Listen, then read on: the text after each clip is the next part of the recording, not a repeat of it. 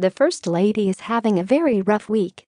Melania Trump underwent an embolization procedure on Monday, May 14 to deal with an ongoing kidney issue, which her office described as benign.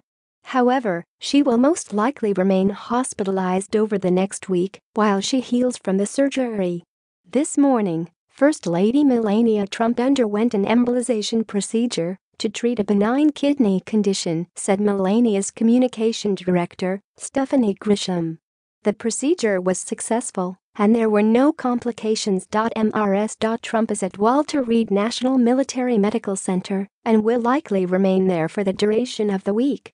The First Lady looks forward to a full recovery so she can continue her work on behalf of children everywhere. Melania's husband, President Donald Trump, did not accompany her to the hospital.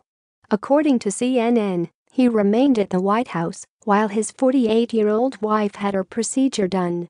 While she is expected to be just fine, this is the most major surgery a First Lady has ever had done, while her husband was in office since Ronald Reagan's wife Nancy had a mastectomy in October 1987. It is unclear whether the surgery was planned or done on an emergency basis, and no further details were given about what specific condition she has.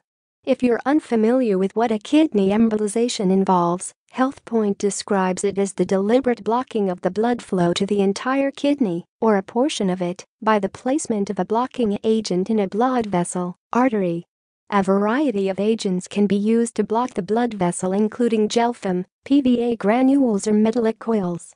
Greetings from at White House A post shared by First Lady Melania Trump at FLOTUS on March 22, 2018 at 7.01 a.m. PDT NCBI says the process can be used in the treatment of a variety of health issues, including conditions such as symptomatic hematuria and palliation for metastatic renal cancer, renal tumors, treatment of angiomyolipomas, vascular malformations, medical renal disease, and complications following renal transplantation. Again, Melania has not explained what issues she was treating.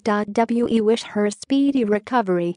More from Closer Weekly Donald Trump snubs wife Melania Trump in Mother's Day tribute. Poor Melania, people aren't impressed with Ivanka Trump's awkward Mother's Day tribute to mom Ivana Trump French First Lady says Melania Trump cannot do anything while living in Washington, D.C.